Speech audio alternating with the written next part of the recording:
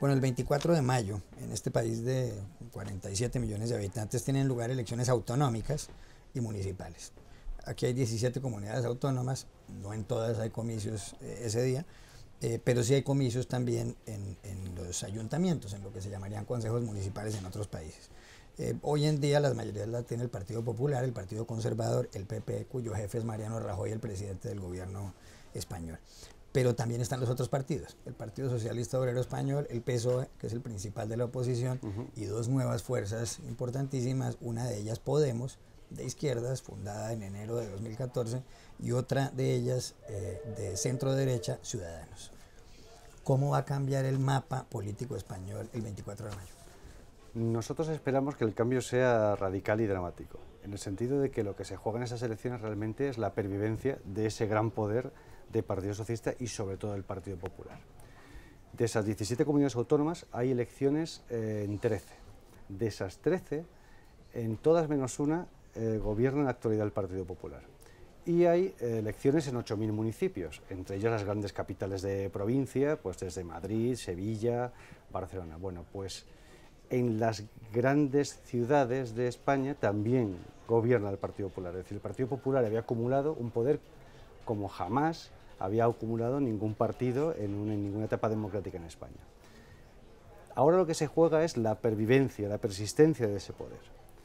Y sobre todo lo que se juega es eh, si va a resistir o no ese juego de dos partidos. Nosotros pensamos que no, y las encuestas indican que no, que lo que va a producirse, vamos a un escenario de cuatro partidos, cuatro partidos relativamente fuertes, eh, aunque con diferencias sustanciales. Todas las encuestas indican, de momento, de momento, que el Partido Popular va a seguir siendo el ganador en las elecciones autonómicas y municipales. Pero ojo, digo ganador y matizo. Va a mantener el mayor número de votos y el mayor número de concejales y posiblemente de, presidencias autonómicas, pero bajando mucho sobre el nivel actual. El Partido Socialista, en cambio, de esas, eh, solo tiene el poder en una y gracias a una coalición, y es en Asturias, en el Principado de Asturias, una comunidad muy pequeña en el norte de España. Y es posible que lo conserve, pero el fenómeno realmente interesante, importante, es que se va a producir un escenario de cuatro partidos. Un escenario de cuatro partidos en la que el segundo puesto va a estar muy disputado.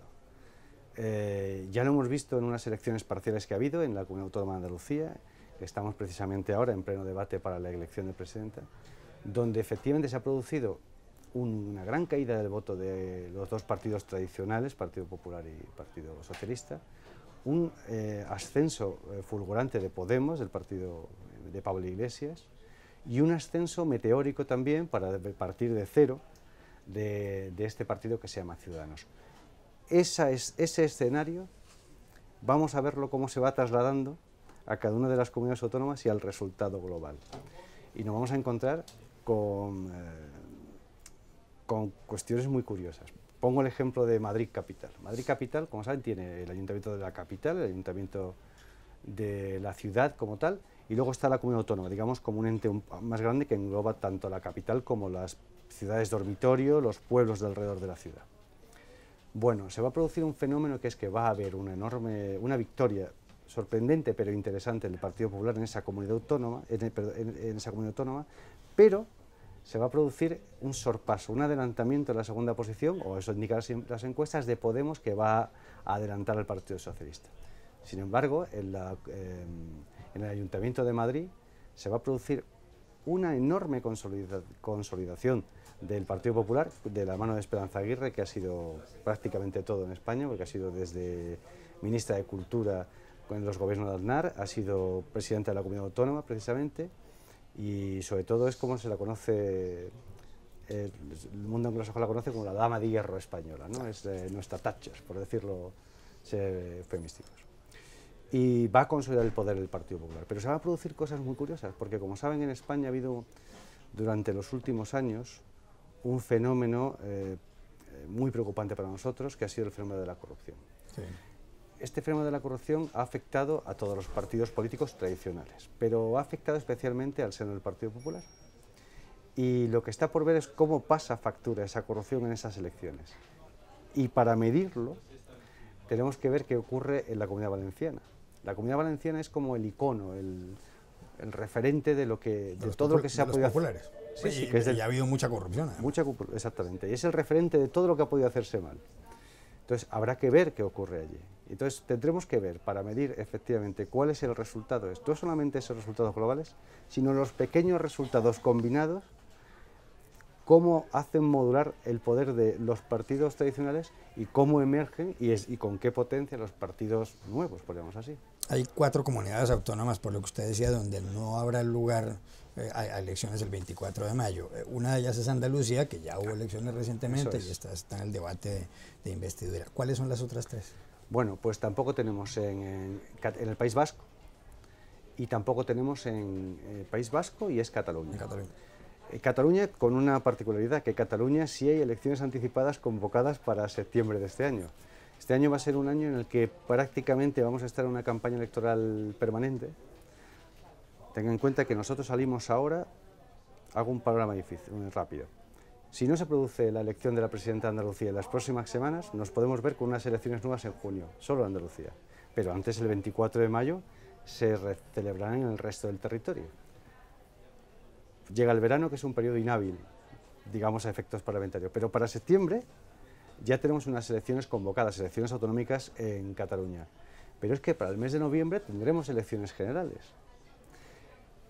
Esto es importante porque ninguno de los partidos quiere señalarse en la formación de coaliciones electorales hasta llegar a las elecciones generales, porque no quieren, digamos, no quieren quedar marcados, y lo explico.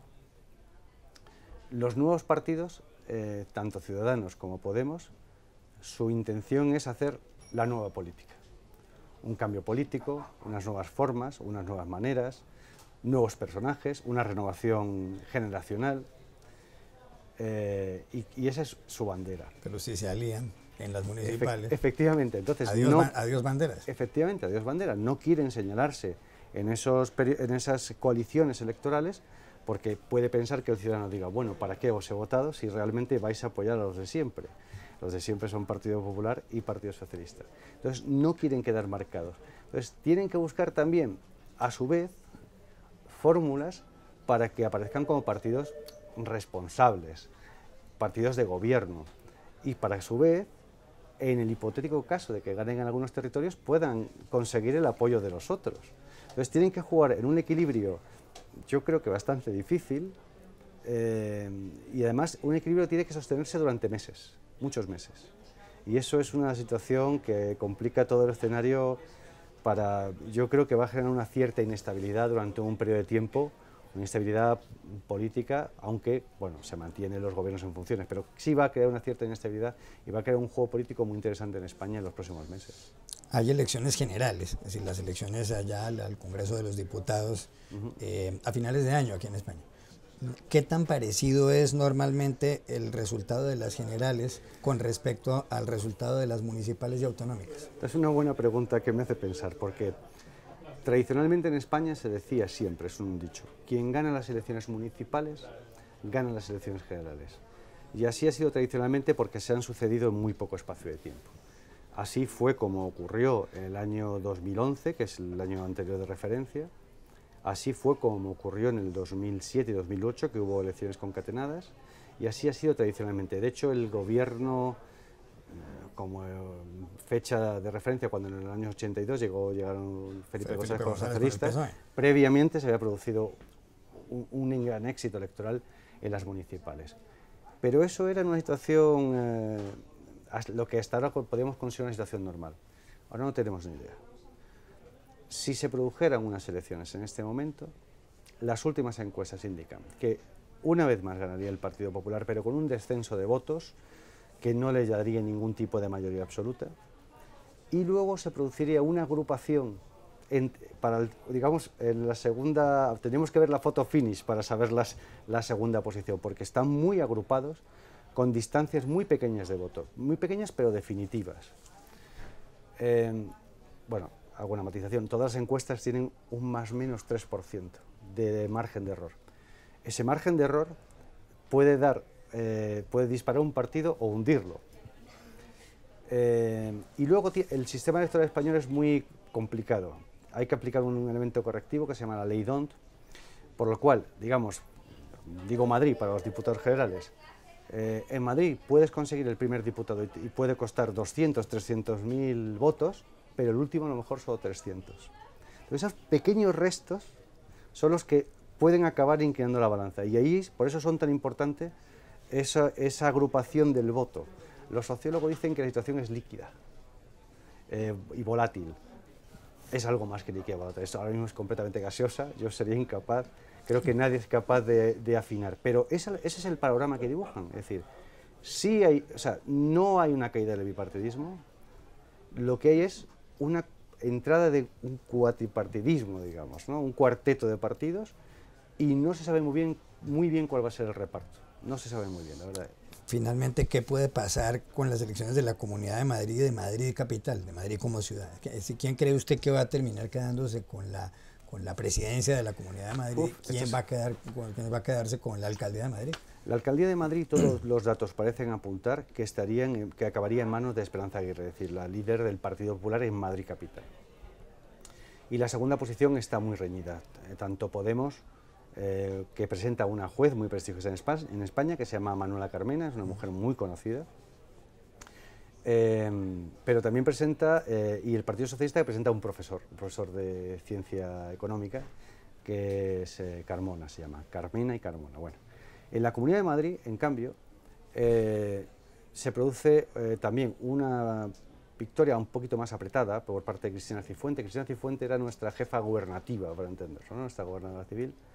Pero se presenta el viejo profesor Ángel Gabilondo, que ha sido ministro de Educación en España, es una persona de mucho prestigio político y académico. Rector universitario. Rector universitario, efectivamente, una persona muy conocida. Eh, digamos que eh, hay dos anhelos. Eh, la derecha, por entender, por hablar en corto, quiere una victoria del que se consolide Esperanza Aguirre, puesto que es una apuesta muy específica, y le gustaría que con apoyo de ciudadanos pudiera consolidarse Cristina Cifuentes. ¿Qué anhela la izquierda? un ticket dual electoral. Sería intentar llegar a acuerdos entre el Partido Socialista y Podemos de manera que en la Comunidad de Madrid, el presidente de la Comunidad de Madrid fuera Ángel Gabilondo, pero que podrían llegar a un acuerdo para que en la alcaldía de Madrid la alcaldesa fuera Manuela Carmena. Pero para eso los resultados tienen que acompañar y el PSOE tiene que ser la segunda fuerza en ambos lados en ambos eh, estamentos. Parece asegurada que es la segunda fuerza de la Comunidad de Madrid y restando, y quiero decir restando, sigue su progresión lenta pero bastante consistente, pero en el Ayuntamiento de Madrid se ha producido un descenso, lo cual dificultaría esa pareja de baile entre la Comunidad de Madrid y el Ayuntamiento de Madrid. Parece un poco complicado, pero ese es el objetivo que tienen ambas partes ahora mismo.